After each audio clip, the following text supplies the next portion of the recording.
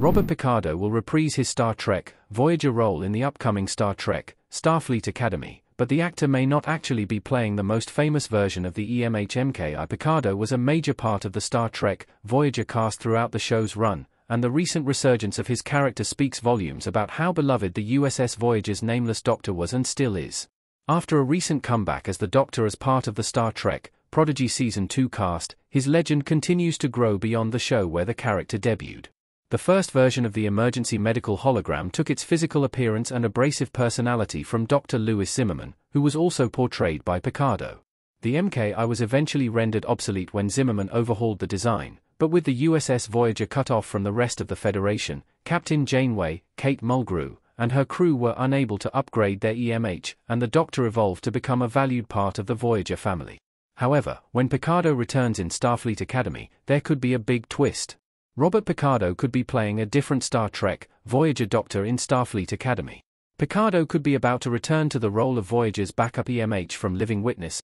There were countless versions of the EMH MKI, as it was originally designed as a short-term medical assistant. While Star Trek, Voyager often implied that copying Doctor's program wasn't an easy task, there is an installment of the show that reveals Captain Janeway's ship did have a way of resurrecting Picardo's character should he be destroyed. In Star Trek, Voyager Season 4, Episode 23, Living Witness, Voyager's EMH backup module is located centuries into the future. Although the Doctor becomes integrated into the alien world society, he eventually sets a course for Earth after a longing for home. The period of roughly 700 years that has passed in Living Witness means it could easily be the 32nd century by the time the backup EMH reaches Earth, which is when Star Trek, Starfleet Academy is set. So, although the original Doctor may also have survived this long, it's a little coincidental that the timelines match up so perfectly. As such, Picardo may not be reprising his role as the version of the Doctor who reached home in the Star Trek Voyager finale, but rather the backup EMH who has finally made it home after setting off in Living Witness. It's unclear exactly when Voyager's EMH backup module was left behind, but as a living witness is technically a distant Star Trek, Voyager sequel, it's safe to assume that the episode's version of the Doctor shared only certain memories with the main version of Picardo's holographic character. The backup EMH understandably has the same personality traits as his counterpart, but his experiences from Living Witness and beyond would have resulted in a divergence between the two beings. Robert Picardo has played other versions of Star Trek, Voyager's Doctor before. Star Trek often kept Picardo busy. The ubiquity of the EMH-MKI in a certain period of Star Trek's 24th century means there has been ample opportunity for Robert Picardo to play his holographic brethren. One of the most prominent instances was near the end of Star Trek Season 7, Episode 19, Author, Author.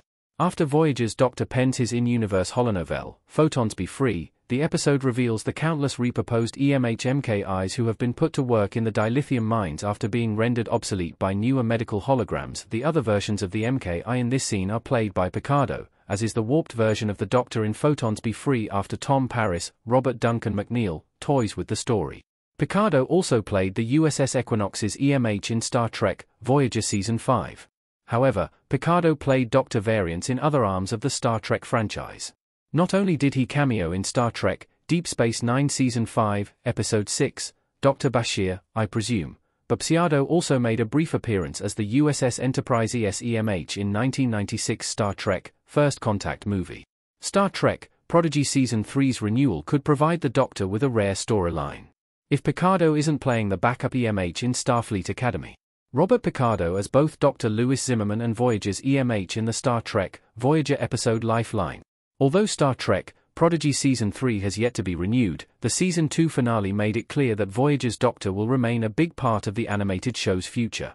It's very rewarding to see what the character is up to so long after Star Trek, Voyager's ending, but if he is playing the exact same EMH in Starfleet Academy as he did in Voyager, and if Prodigy is renewed, it'll be possible to witness two distinct parts of the Doctor's timeline in separate, active shows although actors have come back to reprise established Star Trek roles before they very often feature in just one project at a time.